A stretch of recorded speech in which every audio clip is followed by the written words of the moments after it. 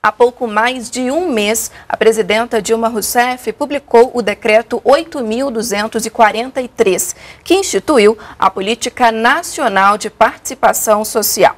Legislação que será orientada pela Secretaria-Geral da Presidência da República. O decreto trouxe à tona uma questão polêmica.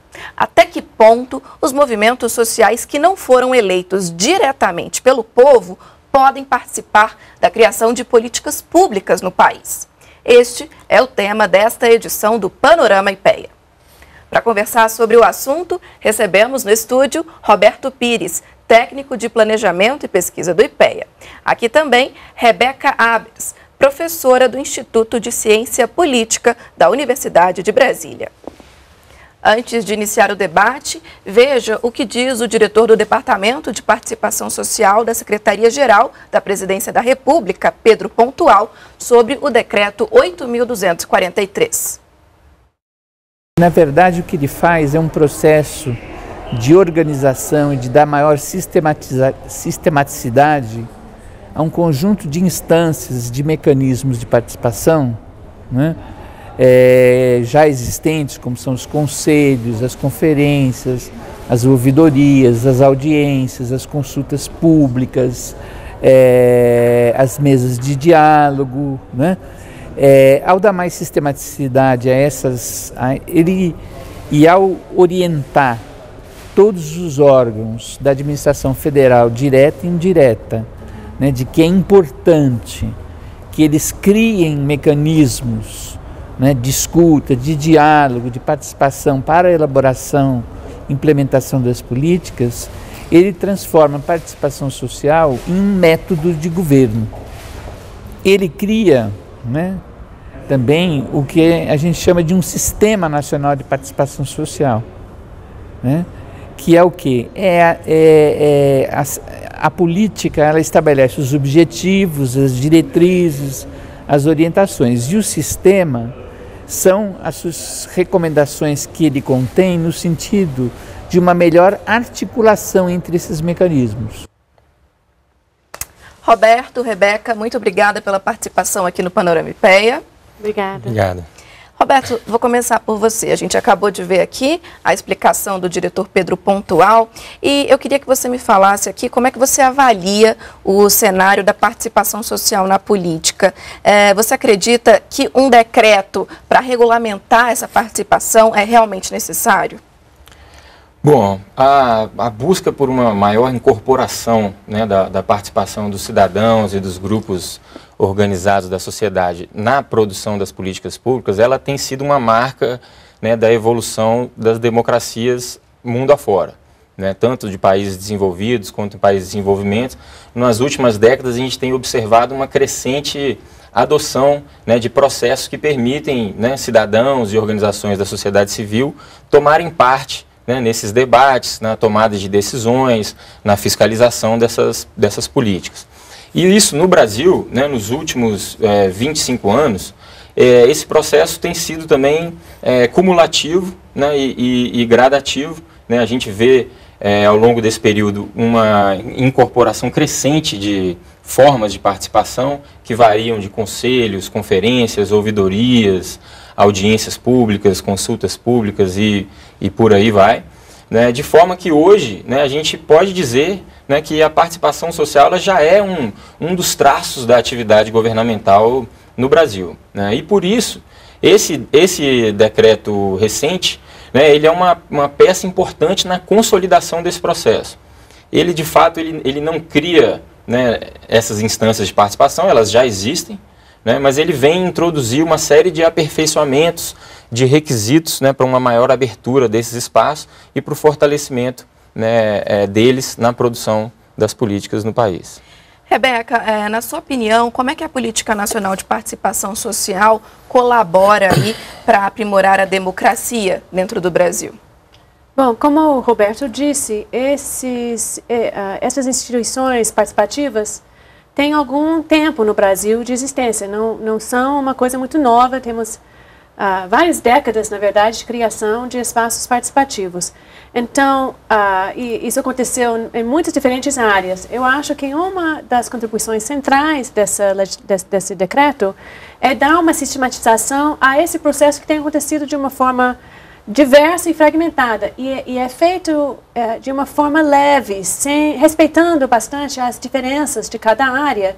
Eu acho que o decreto tem uma linguagem bastante branda, sem obrigar as diferentes uh, áreas de política pública a fazer mudanças, mas sugere algumas, uh, alguns avanços democratizantes. Por exemplo, uh, propõe que os, as diferentes instâncias tenham, garantem a diversidade de participação, de que uma diversidade de pessoas possam participar, que tenham transparência e publicidade nas suas ações que eles tenham um certo planejamento, uma organização maior. E que as áreas que não têm participação ainda tentam planejar nesse sentido, sem muita uh, definição de como cada área deveria fazer isso, que eu acho muito importante porque a administração pública tem uma diversidade muito grande de tipos de ações, mas que propõe um pouco dessa, uh, dessa uh, criação de algumas regras básicas para esse processo que já existe que já está acontecendo. Roberto, é, com essa nova política, com o decreto, todas as decisões a partir de agora vão ser obrigatoriamente, vão ter que passar necessariamente é, por um debate anterior, junto com os conselhos, junto com a sociedade civil. É, o executivo agora pode tomar decisões diferentes do que foi sugerido pelo conselho ou não, isso acaba. Esclarece isso aqui para a gente. Sim, o, né, o decreto ele não cria né, nenhuma obrigação que, que já não existia. Né?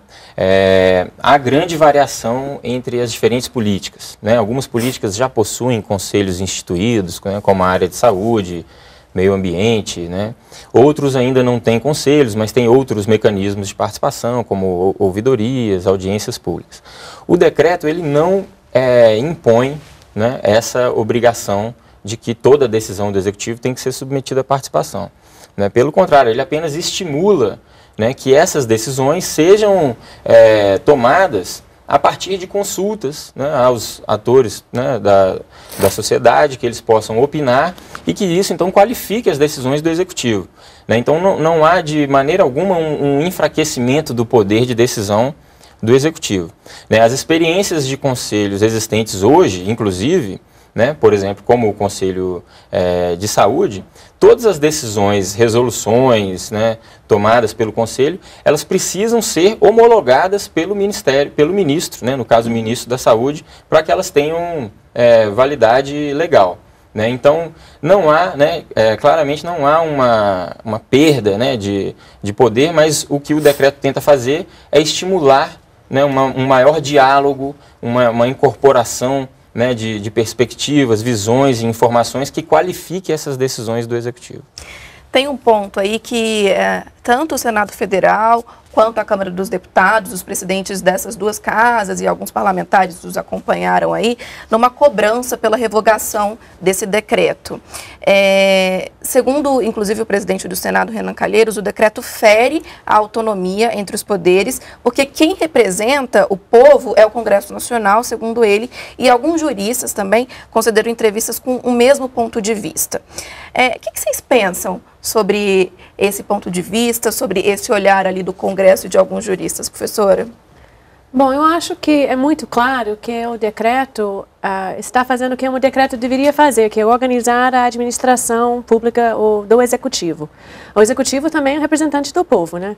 Não é somente o parlamento que é eleito para representar o povo, mas a única pessoa no executivo que é eleito é o presidente ou a presidenta, e existe uma imensa máquina pública com milhares de uh, funcionários, também não eleitos, que tomam decisões sobre N diferentes políticas públicas, sobre todas as questões. Então, quando um decreto é feito como esse, que, que sugere que esse processo de tomar de decisão do, da alçada de políticas públicas do uh, próprio executivo é feito, eu acho que isso está dentro das, da, da, das condições e da responsabilidade da, da própria presidência de organizar seu processo decisório do jeito que bem quiser. De forma nenhuma, um conselho ou um espaço participativo pode tomar uma decisão que vá contra uma lei Né? As leis continuam totalmente válidas para esses espaços, do mesmo jeito que elas constrangem o que uh, qualquer ato executivo pode fazer. Roberto, e você? Surpreendeu muito né, a, a, reação de alguns parlamentares e de alguns juristas nesse, nesse sentido, né, porque o, né, o, o decreto não fere de forma alguma né, ou interfere nas, nas competências né, do, do Congresso. Nenhum conselho, conferência ou, ou, audiência pública poderá decidir coisas que são de competência do Congresso. Né? Tudo aquilo que está estipulado na Constituição como sendo né, de competência do Congresso permanece assim. Né? A única alteração que, né, que, o, que o decreto tenta né, é, é, produzir é fazer com que as decisões né, que cabem ao executivo, que cabem aos órgãos e às burocracias do poder executivo, possam contar né, com, esse, com essa interação mais qualificada com, com a sociedade. Né? E surpreende porque essas coisas, esse processo já está em andamento. Né? Então, é, ver né, a reação de alguns parlamentares é, assustados né, com, com o que o decreto pode provocar, né, foi também bastante interessante né, de, de, de se observar. O nosso debate continua daqui a pouco. No próximo bloco, vamos abordar de que forma o decreto deve dar voz aos movimentos sociais. Até já.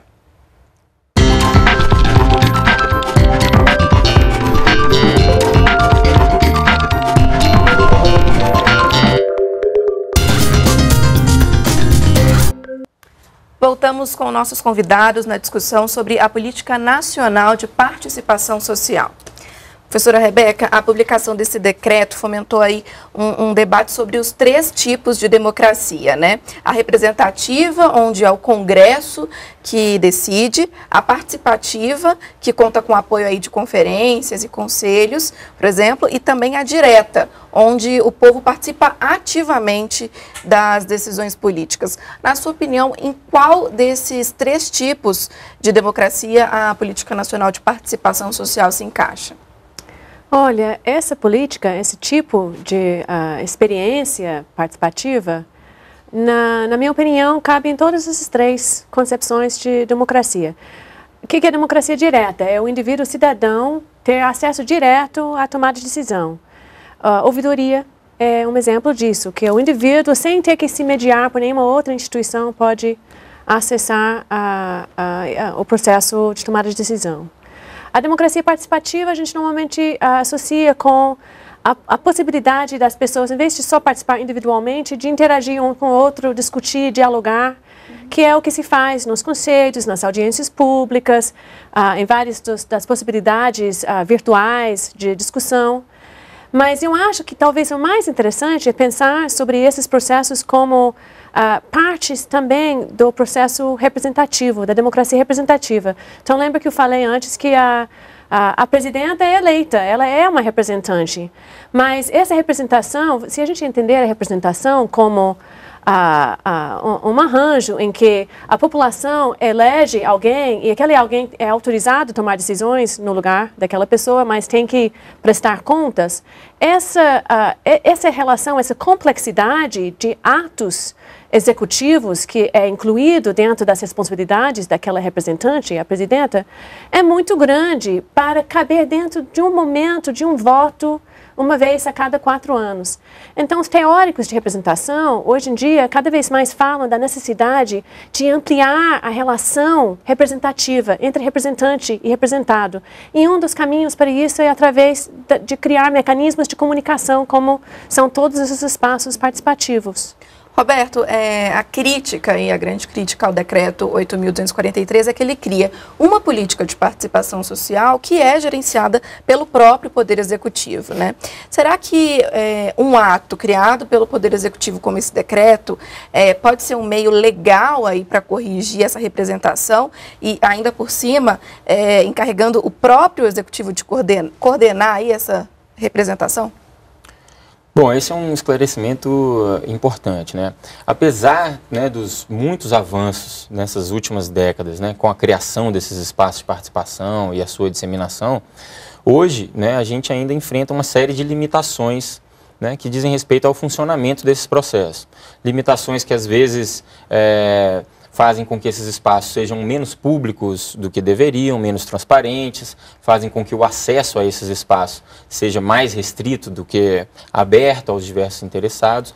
Né? Então, esse, o, um dos objetivos centrais desse decreto é justamente corrigir e aperfeiçoar essas falhas. Né? Então, as, é, é, imaginar que esse decreto aumentaria o controle do, do executivo sobre a participação né, é um equívoco, porque ele justamente tenta fazer com que esses espaços de participação se tornem mais oxigenados, mais abertos, obedeçam a regras e critérios de funcionamento de maior qualidade, né, e que assim, né, a partir disso, propiciem uma, uma maior representatividade dos interesses da sociedade nesses espaços. Né.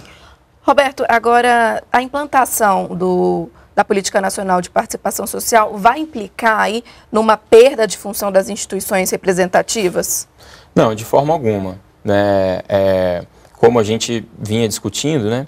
a maior parte desses processos participativos que existem hoje foram, inclusive, criados né, por atos legislativos. Né? Foram os próprios parlamentares que propuseram ou né, acataram sugestões do Executivo no sentido de criar espaços de, de participação. Portanto, a existência deles né, é consoante com é, vários objetivos né, dos próprios é, legisladores. E também, né, como a gente é, mencionou, as competências desses processos participativos não interferem com a, a, a, do Poder Legislativo. Então, a gente precisa enxergar essa relação muito mais numa perspectiva de complementariedade e qualificação do debate do que numa perspectiva de concorrência e substituição. Rebeca, uma outra crítica ao decreto é, é que, eles, é, que os conselhos, né, dos quais vão ter aí grande importância e também outros movimentos sociais é, que vão atuar dentro dessa política é, são formados aí por um grupo crescente de pessoas que para quem a questão do ativismo, da militância política virou uma profissão, né? E não vai ser aí uma representação que garanta talvez a pluralidade de todas as vozes dos brasileiros. Qual é a sua avaliação sobre isso? Bom, de fato, essa questão toca no principal problema de qualquer processo participativo e, e democrático, na verdade.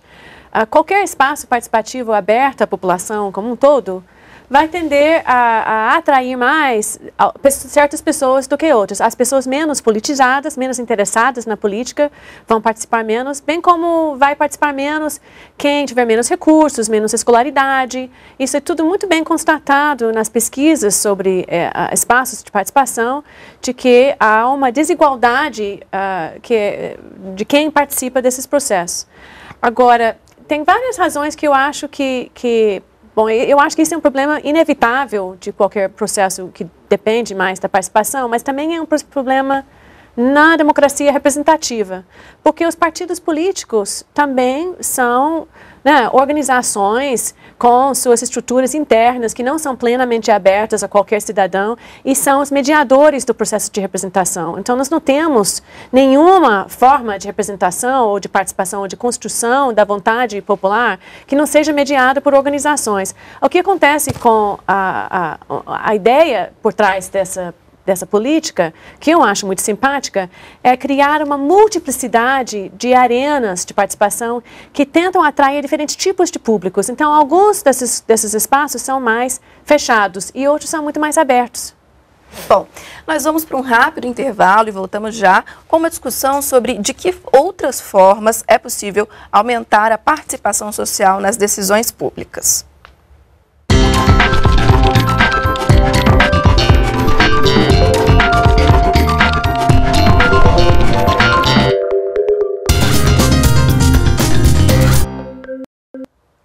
Estamos de volta com o nosso debate sobre o decreto que institui uma política nacional de participação social. Roberto, na sua opinião, faltou aí um maior debate, um espaço mais aberto para refletir sobre a questão desse decreto é, 8.243? E será que foi isso aí que gerou tantas interpretações diferentes para o mesmo decreto, que gerou tanta polêmica? Olha, eu diria que em parte sim e em parte não.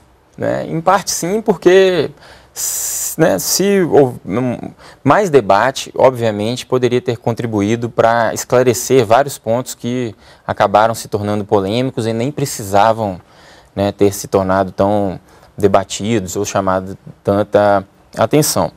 Mas, em parte, não, porque também a reação a, a, a essa proposta, ela veio também de um conjunto de, de atores que, né, por é, estratégia política, se opõem a uma maior abertura né, das decisões do governo à participação da sociedade. Né? São atores políticos que, que utilizam né, de, de estratégias que envolvem menos diálogo, né, menos contato com o cidadão, com a, com a sociedade, e se veem, de alguma medida, é, em alguma medida ameaçados né, é, com a ampliação da participação e desses processos. Né. E tem aí a questão também de que quem está é, engajado em movimentos sociais, quem é militante, quem participa, já tinha ouvido falar é, nessa possibilidade de uma política né, que, que regulamentasse, que desse aí mais segurança para esses movimentos agirem. Agora, quem nunca participou de movimentos sociais às vezes não tinha ouvido falar nisso, isso pode ter surpreendido. Professora, é, na sua opinião, o, o que, que, acontece então? A gente tem que, é, as pessoas para participarem e, e para opinarem, têm que estar então engajadas em movimentos sociais obrigatoriamente? Como é que você vê isso? Olha, isso é um, um, uma questão muito interessante, né? Para mim, uh, uma das grandes, uh, um dos grandes insights das manifestações que aconteceram ano passado foi depois de eu estar estudando e acompanhando as políticas participativas brasileiras desde o início dos anos 90 e ver isso se tornar uma parte bem central na forma que as decisões são feitas no, no, no Brasil. No exterior, o Brasil é muito visto conhecido internacionalmente pelas suas, pelas suas inovações participativas. É uma das coisas que a gente mais vê quando estrangeiros falam sobre a, o Brasil. E, de repente, de escutar nas manifestações uh, uma crítica à democracia brasileira, muito no sentido de que queremos mais participação, queremos mais acesso à tomada de decisão. Então, essa crítica eu acho que a gente tem que escutar. Né? Eu concordo com, com o Roberto que ah, as críticas que saíram no noticiário das últimas semanas não vêm desse lado, vêm de, uma, de, de, um, de, um, de, um, de um público que tem como interesse criticar o governo. Mas ah, aquela população sugeriu que esses espaços que foram sendo criados ao longo de há várias décadas, temos milhares de conselhos existentes, centenas, dezenas de milhares, literalmente, de, de conselhos gestores em municípios no Brasil inteiro. Mas uh, parece que esses conselhos não são vistos, não são conhecidos, não são notados pela população em geral, por uma grande população que naquele momento se dispunha a, a, a ir para as ruas. Eu acho que isso é uma coisa muito importante, que tem que ter um processo de comunicação muito mais ampla, uh, de massificar esses espaços e, e do conhecimento sobre esses espaços e de criar, provavelmente, uh, especialmente a nível local, mais caminhos de acesso à, à, participação. Isso não é necessariamente tudo coisa para o governo federal fazer. Uhum. Tem muita coisa ali que tem que ser feito em nível municipal, local também. Esse é o ponto, né? Quem, é, quem quer participar, quem quer atuar e, e, decidir junto com o governo, também tem que se mobilizar, né, para chegar até uhum. lá. Roberto, e na sua opinião, aí, quais seriam outras possibilidades de aumentar a participação social nas decisões brasileiras? Um dos, dos objetivos né, desse decreto é inclusive esse, é, é tentar multiplicar e pluralizar essas oportunidades de, de participação. Né, o debate que se travou né, nesse, nesses últimos tempos né, sobre o decreto acabou se centrando muito na figura dos conselhos. Né, mas um dos objetivos do decreto é estabelecer também a importância de conferências, mesas de diálogo, ouvidorias, consultas, audiências públicas e é, espaços virtuais né, de, de participação. Então, o, o, o, próprio decreto já oferece um, um, um conjunto variado de espaços de participação. Além deles, né, é importante também a gente ressaltar né, o, o crescente uso e mobilização das redes sociais. Né, isso certamente tem oferecido oportunidades de organização e de mobilização de cidadãos e cidadãs que antes né, não encontravam formas de, de discutir é, política. E, finalmente, uma outra forma que poderia amplificar tudo isso era uma maior conexão com os meios de comunicação. Né? Hoje, a, a, cobertura que se dá a esses espaços e eventos de participação, ela é, ela é muito aquém né, daquilo que realmente acontece. Então, hoje a gente tem conferências nacionais que estabelecem debates riquíssimos, mas que não são é, noticiados, não são televisionados, não aparecem né, em jornais. Então, se isso acontecesse, certamente a gente teria também um maior conhecimento e engajamento da população nesses espaços. E professora, para a gente encerrar, então me fala aí a sua opinião também sobre quais outros espaços, de que outras formas espaços podem ser abertos para a participação social. É, eu acho que o problema não é tanto inventar novos espaços, mas, mas tornar mais vitais os espaços que já foram criados, que já existem, as possibilidades que nós conhecemos. Agora, o, o terreno desconhecido e ainda nessa área é a internet. Do que eu conheço, tem algumas experiências de fazer voto pela internet, mas isso acaba produzindo aquela, aquela democracia direta, aquela uhum. relação muito individualizada, que a pessoa só expressa a sua opinião. Mas com as redes sociais e as novas, esse, esse Internet.2, a gente tem na possibilidade de interação coletiva que simplesmente eram inconcebíveis há pouco tempo atrás. Eu acho que é nesse sentido que temos que uh, pensar no futuro e com certeza estaremos pensando. Rebeca, Roberto, muito obrigada pela participação aqui no Panorama IPEA. Foi um prazer recebê-los. Muito obrigada pelo obrigado. convite. Agradeço em especial a você que nos acompanhou. O Panorama IPEA fica por aqui. Até a próxima.